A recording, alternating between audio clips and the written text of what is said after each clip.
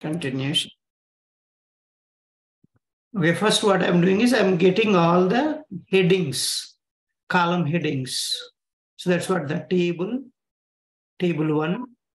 See, T head, TR and TH. Understand that here. So table, T head, this one. Then TR, these are all the TH. Each TH is one column name. Okay, column header names table headers, these are all. Okay, so this table header name. Let's say all this, I'm fetching all these names, table header names. So I'm getting all of them directly with the driver dot find elements and column list, column header list basically. So then system dot out dot print, I'm just printing number of columns and iterating them and getting the each column text, get text method I'm using. Column dot get text. Fetch all the rows in the table. Fetch all the rows in the table. List web element, rows list equal to driver dot find elements by dot xpath table T body TR. So getting all the rows. How many rows are there in the table one? Get all the rows and for web element row colon collection, this collection. So then if you want each row text, row dot get text, entire row text you will get. So this entire row text you will get. That's what this is doing. Then iterate all the rows and columns. See this? For int i equal to 1, i less than rows list dot size, i plus plus. Each row, so you can get all the columns again. So this column list. So again iterate the columns. See, this is the inner for loop, outer for loop for rows, inner for loop for columns. So, so here I'm using see ith row and jth column. So cell data, I'm calling a get table cell data method I have written. So what this method is returning? String data, each cell, the row count and column count you're giving as a parameters for this method. And this will generate, see this is how to parameterize. So the TR place, what we are doing, double quotes plus row plus double quotes. This is how to parameterize the X path. So tomorrow you give row different value, it will take automatic. You don't need to hard code. Hard code means you don't need to fix the value. You can parameterize your X path like this. So how to parameterize anything, any index, how to parameterize the square brackets, double quotes, plus your parameter name, plus double quotes. Same way TD also. So TD square bracket, double quotes plus column plus double quotes. So this is the auto parameter. You are not fixing the value for the rows and columns. So that's a you can pass whatever. See that.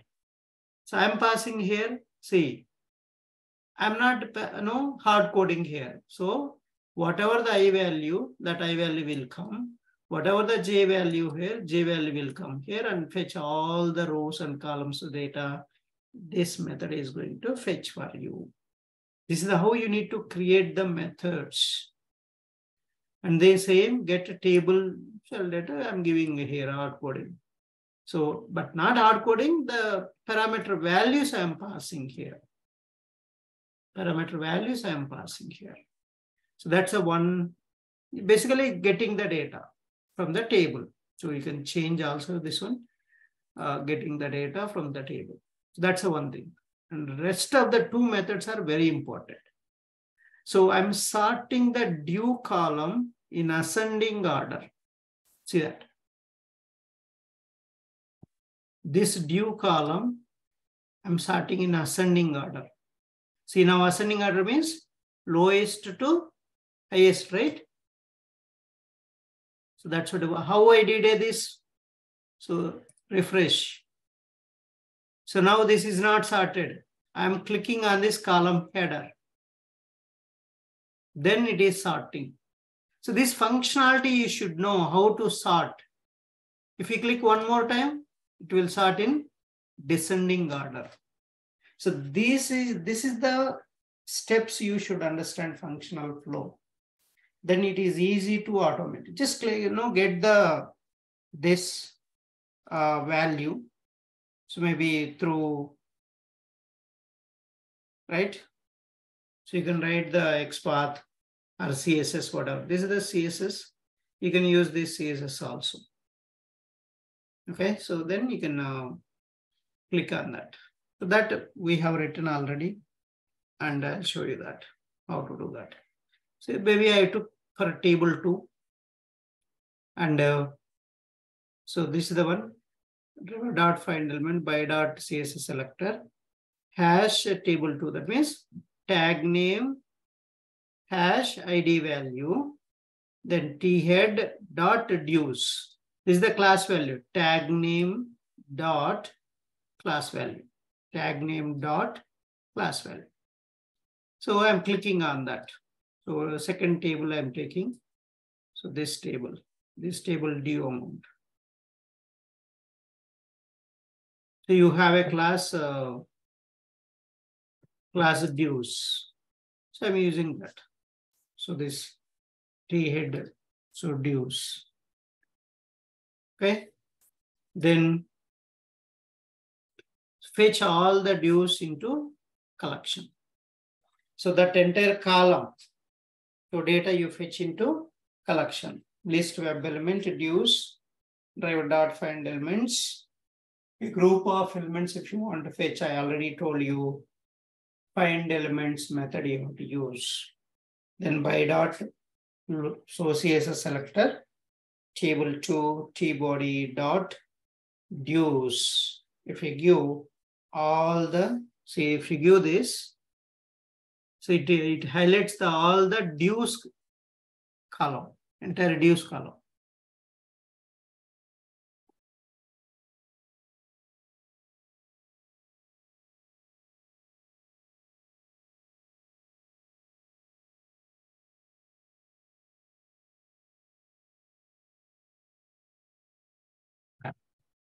See this now.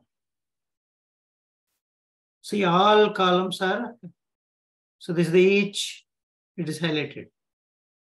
Even in the bottom also you can see this. Right? Only these values are highlighted. So this is the X. So CSS So we need to write like this. Okay. So table ID, then T body, T body inside. Okay, so T body, then TR. So T body dot dues, if you write automatically, it will get all the data. So this dues data. Yeah. So any questions?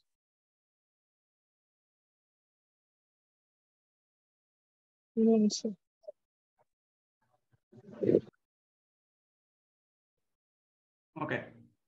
So you got all the dues. And I want to store, okay, so you're getting this format, right?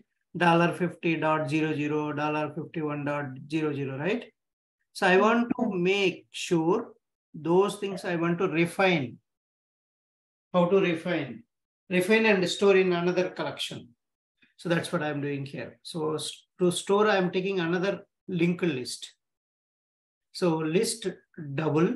So this is the wrapper class. Due values equal to new linked list double. This is the generic uh, formats. So I'm, I'm iterating for web element. This one I'm iterating, this collection. Web element, element, colon, collection name. So this I'm adding, I'm adding each value to this due values. What I'm doing, see how I'm refining. So double dot parse double, this element dot get text. So element dot get text, what you will get? Dollar fifty dot zero zero you will get. So that what I'm doing, double dot parse double, what it will do? Will converting Convert this string into double. double format. So then what I'm doing on this string, I'm replacing dollar. empty. So this is all I'm doing in the single line. String, get text will written a string, string dot replace method, replacing the dollar with this one. So I got the string, final string, I'll get a 50.00. So that I'm storing in the this collection, all the values. Then what I'm doing, then I'm iterating this, this collection to check, to check. So whether it is sorted in ascending order or not. So how can you check ascending order? The first value should be less than second value, right? Yes. The first value should be less than second value. So our second value should be greater than previous value. So that's how we can check. But so we always check. So the first value is less than the next subsequent values. So how to do that? This is the one I, I took this. So for loop, int counter equal to zero, counter less than this collection dot size minus one, counter plus plus. So I said that. So these are all Hamcrest methods I'm using here. Hamcrest methods I'm using. Due values dot get counter. So right collection dot get. So this counter value is less than or equal to less than or equal to due values dot get counter plus one. So always first value is less than or equal to second value. So that's a is less than or equal to method I'm using.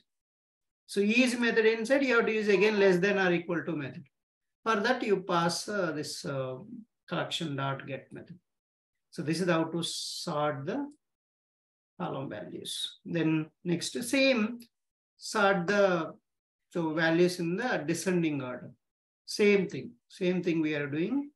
And uh, so again, fetching all the values and same procedure, but here is greater than or equal to.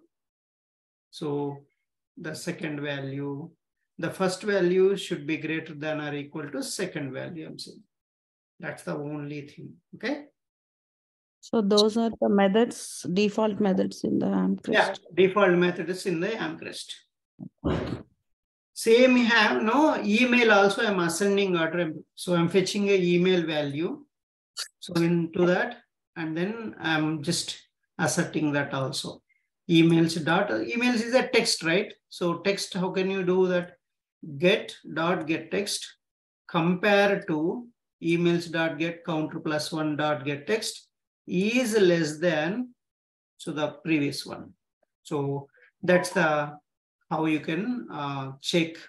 So compare method you are using here, and uh, so that you are checking the previous one is less than the so next one or not. So that's how you can you know check this. Let's go and run this program.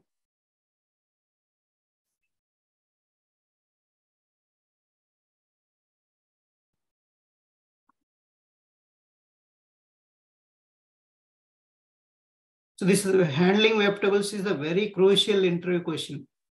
So don't neglect these questions, all these interview questions. Make sure you practice very well and that will help you answer in the interviews. If you're really attending interviews, so this, make sure you take up all these questions. I don't know whether you are noting down or not. Again, don't ask me questions. I every topic wise I'm telling. So you need to keep those things in your mind and make a note. So then it will help you to crack the interview. So right click, run as TestNG.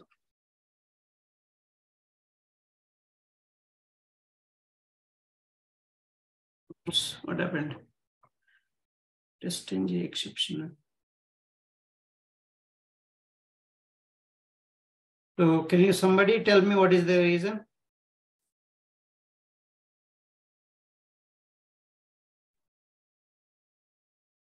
Package means SNG spelling mistake. Hmm, package name is wrong. So this is a wrong. Okay. So all these exceptions you remember. Okay. You can tell all these exceptions I got during my automation so that they will be happy. So you have to remember these exceptions, what are all different exceptions we have got it. See each test case, it is going there and coming back. All are false. Yeah.